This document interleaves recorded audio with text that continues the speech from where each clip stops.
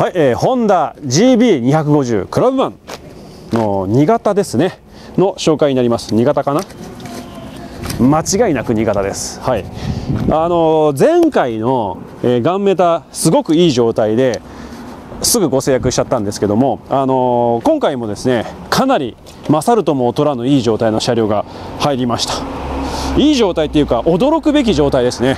何が驚くべき状態かっていうと走行距離が1562キロなんです。これ10万1562キロじゃないですよ。1562キロなんです。あのメーター改ざんだとかそういった可能性がとても低いです。このメーター距離が信じられる距離なんですね。なぜかというとなぜかというとまずこのタイヤが当時物です。タイヤが当時物のタイヤ。タイヤがこれが新車で出た当時物のタイヤだと思うんですけどまあ、断定しちゃうとねまたいろいろと語弊は生じると思うんですけど一応僕が読み取ったところあの製造年月日が87年っぽいんででこんだけヒビヒビであの一応ね新車の時のラインも入っててでっていうタイヤをわざわざ履かせてわざわざメーターを巻くっていうのは正直クラブマンでやる話じゃないんですよ。だからここまでやってどんだけ儲かるかって言ったらマイナスになるんでこれを小細工だとは考えづらいんですね。でもう1点はブレーキディスクのローターこここっちにあるんですけどもこのブレーキディスクローターそのものが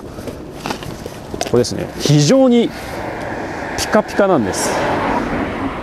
でここあの段付きというか波が出てない。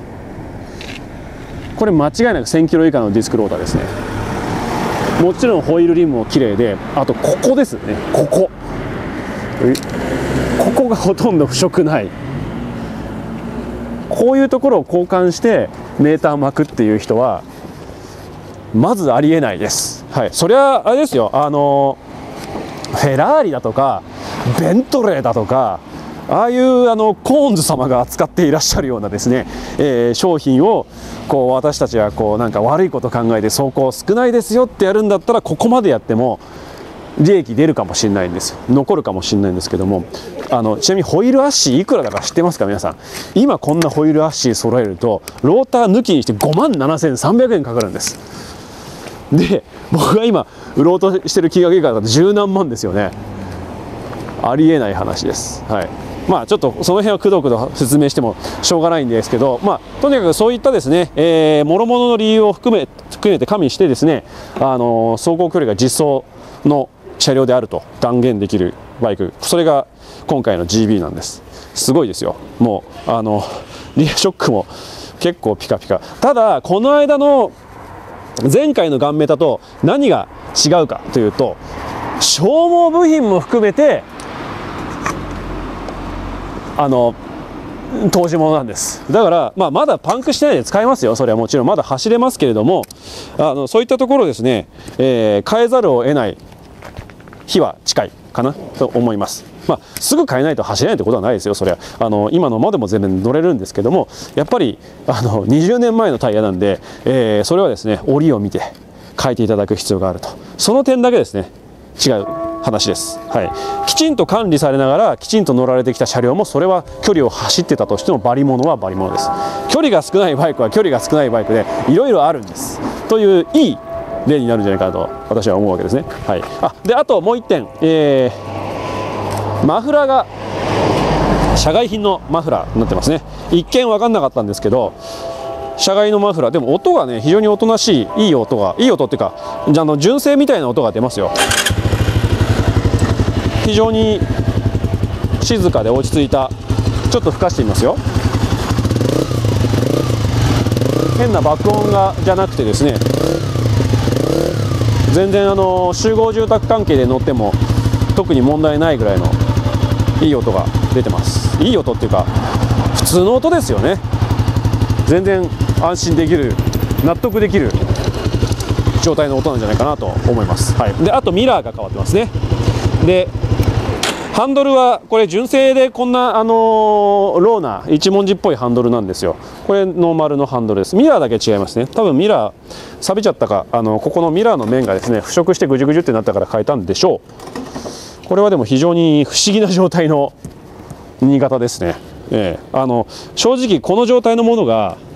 出てくるとは思わなかったです。あの走ってないとしてもあの屋外放置しっぱなしで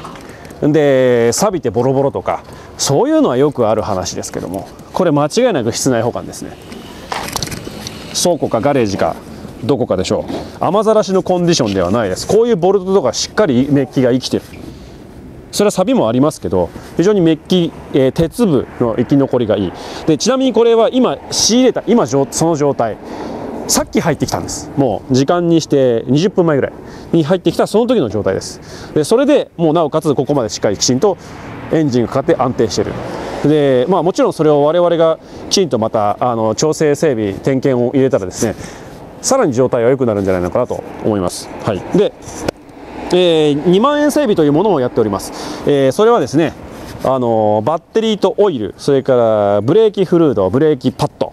えー、あとはどっか変えられるかな。あと油脂類のグリスアップ等と、えー、保安装備の点検、えー、保安装備に不具合があれば交換。保安装備というのはえウインカーとかヘッドライトとかホーンとかテールランプそういったことを指します、えそれらのあの整備手配を行い、え2万円で、え納めるというあ2万円で、え整備をその中、まあ、部品代ですよね。それをやるということをやっております。であと250なんで、え当方でもし、えナンバー取得をご依頼いただく場合もちろん自分でなさせていただいても構わないです。もし、え当方でナンバー取得をご依頼いただく場合は、えプラス3万円で自賠責が2年えー、ナンバー取得手数料込み。でさらに私によるテスト走行をやらせていただいております。はい。でテスト走行をして、まあ、走れないと分かる分からないところもありますのでその走って何か出てきたものに対して、えー、調整したりまたあの手を入れたりするっていう費用もその中には入っていますので、はい、あのもし、えー、念をしたい方がいればですねあのご依頼いただければと思います。で今日すいません。ちょっとね場所が限られてるんであのぐるぐる走っていつもでいつもの通りできないです。ただまあ今回あの状態がいい車両をなるべく頑張って入れてきたということでちょっと前後動かすだけで勘弁してもらいたいと思うんですけどもいいですか？すいません。やべえ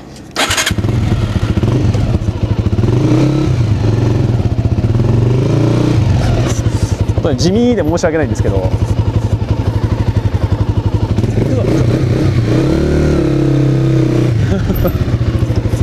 はいこんな感じで。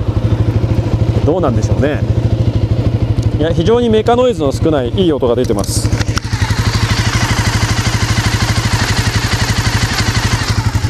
もちろん変なタペット音もないです。